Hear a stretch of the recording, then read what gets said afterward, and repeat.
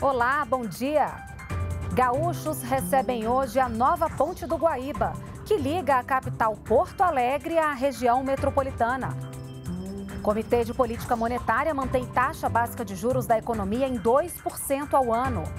E veja também: governo federal lança plano para reforçar o combate à corrupção nos próximos cinco anos. Hoje é quinta-feira, 10 de dezembro de 2020. O Brasil em Dia começa agora.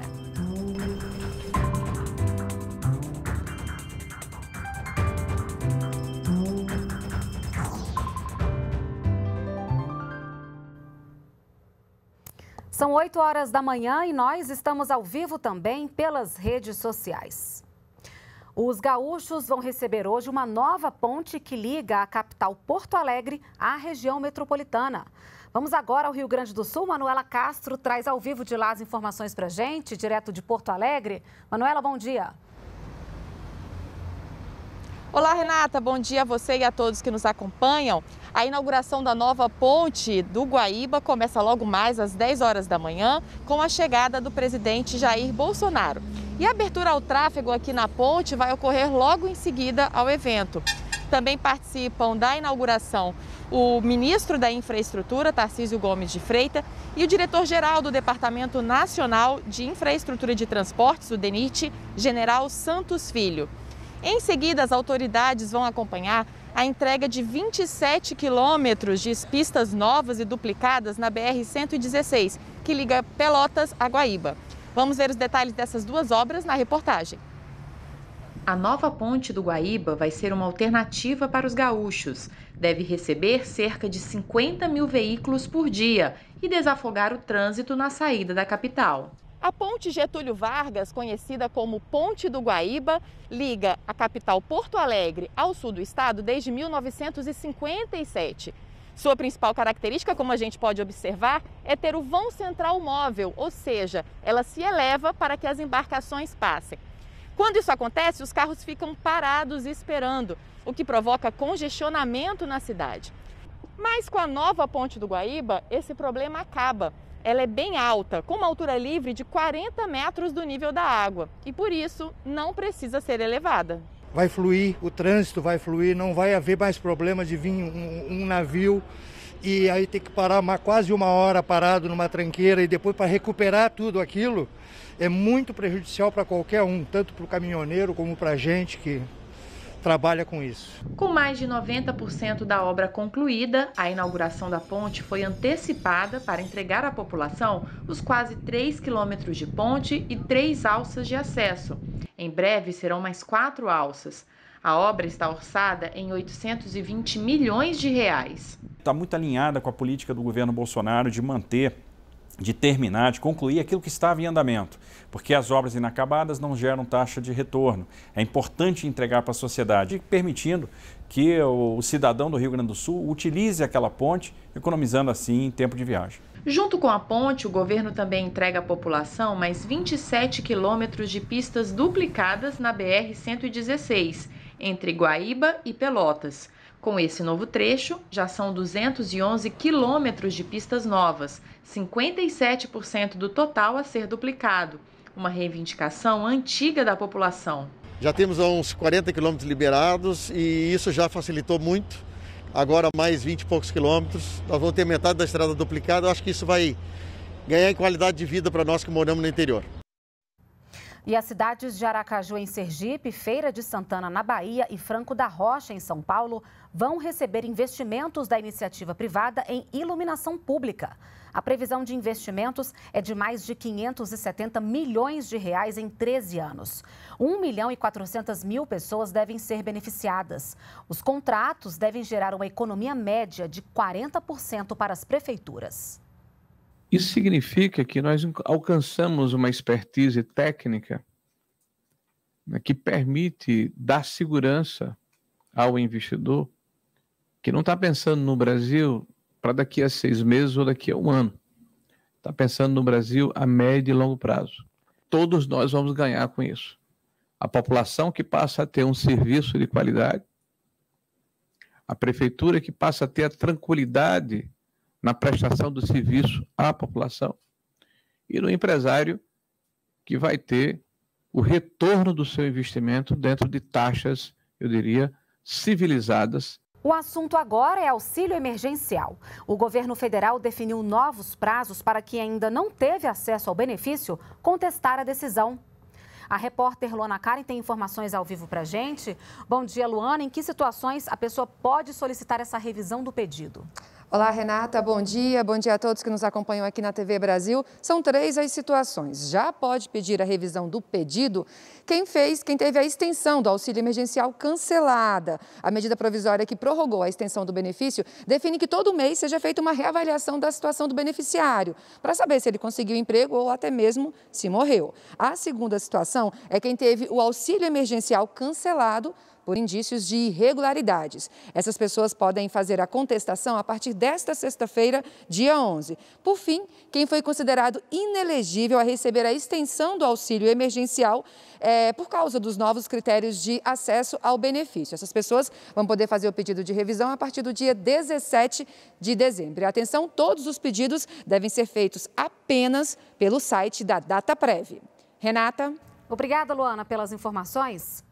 E na última reunião do ano, o Comitê de Política Monetária, o Copom do Banco Central, decidiu manter os juros básicos da economia em 2% ao ano. A taxa Selic serve como uma referência para os juros cobrados no mercado e interfere no dia a dia das pessoas, como, por exemplo, na hora de pegar o empréstimo. Com a decisão, a taxa Selic continua no menor nível histórico. Dados da Organização das Nações Unidas revelam que todo ano mais de 2 trilhões de reais são desviados dos cofres públicos no mundo. E baseado em recomendações internacionais, o governo federal lançou um plano anticorrupção com ações até 2025. O lançamento marcou o Dia Internacional contra a Corrupção, comemorado nesta quarta-feira. O plano apresenta 142 propostas para reforçar o combate à corrupção no país nos próximos cinco anos. Uma delas é o projeto de lei que prevê a responsabilização de agentes públicos submetidos a processo administrativo e altera a Lei 8.112. Outra ação do plano é o decreto assinado pelo presidente Jair Bolsonaro que reforça o controle sobre a evolução patrimonial dos servidores públicos. As normas regulamentam a lei de de improbidade administrativa e a lei de conflitos de interesses no serviço público. E a partir daí, quando a gente identificar evoluções patrimoniais a descoberto, ou seja, evoluções patrimoniais que não estejam condizentes com os bens, com os ganhos declarados por aquele agente, a gente já age de forma é, imediata. A proposta foi dividida em outros temas, como anti-lavagem de dinheiro, ética pública e transparência. O aprimoramento da nossa legislação pelos decretos assinado nesta data, dão reforço ao ordenamento jurídico que já temos como a lei que tipifica o crime de lavagem de dinheiro e as leis da transparência, de acesso à informação e de combate às organizações criminosas. As Forças Armadas exercem um papel que vai além da defesa do território e da soberania nacional. Exército, Marinha e Aeronáutica estão em diversas situações de calamidade e emergência. E a atuação dos militares foi lembrada durante o encontro do presidente Jair Bolsonaro com oficiais generais das Forças Armadas. Do apoio contra a Covid-19 ao suporte para apagar os incêndios no Pantanal e combater crimes ambientais na Amazônia, as Forças Armadas tiveram um trabalho intenso no ano de 2020. A defesa constituiu comandos conjuntos para enfrentar a pandemia do coronavírus, levando apoio aos mais necessitados, incluídas centenas de comunidades ribeirinhas, quilombolas e indígenas. Prestes a completar dois anos no cargo, o presidente Jair Bolsonaro destacou o suporte que as Forças Armadas oferecem ao governo. Em havendo qualquer imprevisto, as Forças Armadas estão prontas para cumprir com o seu dever e ajudar o próximo. Ministério da Educação e o INEP divulgaram os resultados do conceito preliminar de curso, um indicador de qualidade que avalia a educação superior. Cursos de instituições públicas federais tiveram os melhores resultados. 29 áreas foram avaliadas em 1.215 instituições de educação superior. Dos mais de 8 mil cursos participantes do ENAD 2019, o Exame Nacional de Desempenho dos Estudantes, 91,6% tiveram conceito entre as faixas 3 a 5, as mais altas do indicador. 212 cursos receberam nota máxima. As graduações de instituições públicas federais obtiveram os melhores resultados. É um instrumento muito importante para a gestão acadêmica no ensino superior, porque, como o próprio nome diz, é uma nota, uma espécie de conceito. E o resultado dessa nota é obtido a partir da avaliação de itens com fundamental importância para que se faça a gestão desses cursos, entendendo os pontos de melhoria, entendendo o que deve ser continuado. Em comparação a 2018, houve crescimento no número de cursos que conseguiram alcançar as faixas 4 e 5. Depois da versão virtual da Semana Nacional de Ciência e Tecnologia em outubro, agora é a vez da edição presencial do evento em Brasília. Até domingo, a ideia é aproximar os jovens do mundo da inovação. Um universo de conhecimento em 4 mil metros quadrados. Uma experiência incrível. Este ano, uma parte do evento foi virtual, mas para o ministro astronauta, a ciência exige contato tudo dentro da maior segurança, é claro. Aqui é o lugar de conversar e conhecer. Então aproveito esse momento para convidar a todos aqui de Brasília e região para virem aqui no pavilhão de exposições do Parque da Cidade. Fica aberto das 10 da manhã até as 20 horas é, para visitar, conhecer e quem sabe você não acha aqui o seu futuro. Esse grupo já sabe o que quer. Vitor Bismarck e Eduardo foram medalha de ouro na Olimpíada Latino-Americana de Astronomia e Astronáutica. Representa um incentivo ao avanço da astronomia no Brasil também. O pernambucano Rafael explica orgulhoso o desenho vencedor de um concurso nacional. Podem ser a nossa conexão com o mundo, é, a nossa ligação com, com outras pessoas. Este ano o foco é ajudar na pandemia. Quem for ao evento pode até fazer um teste para a Covid-19, desenvolvido por universitários mineiros em parceria com a Fiocruz. Como acontece o diagnóstico molecular de SARS-CoV-2? que é o diagnóstico para determinar se uma pessoa ela tem a presença do vírus no seu organismo ou não. Às vezes as pessoas não se dão conta disso.